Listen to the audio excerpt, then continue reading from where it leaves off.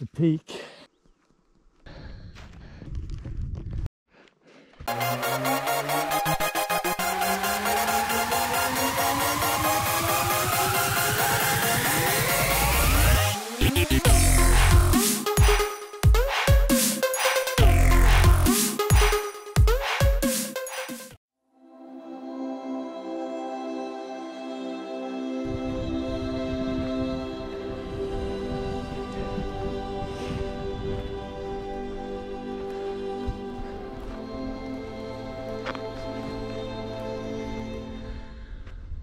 So we're on our way to Meraftafjellet.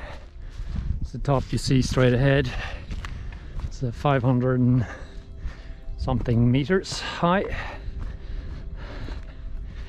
Not too high.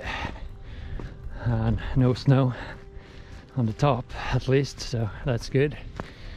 So we're gonna pass two waters. That's the first one.